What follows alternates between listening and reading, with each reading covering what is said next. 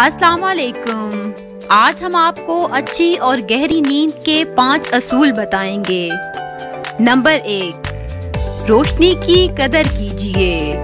Number दो, technology को सिर्फ़ दिन के औकात तक महदूद रखें।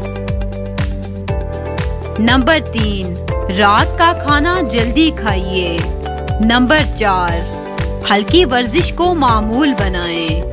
नंबर पाँच गैर ज़रूरी ख्यालात को दिमाग से निकाल बाहर करें।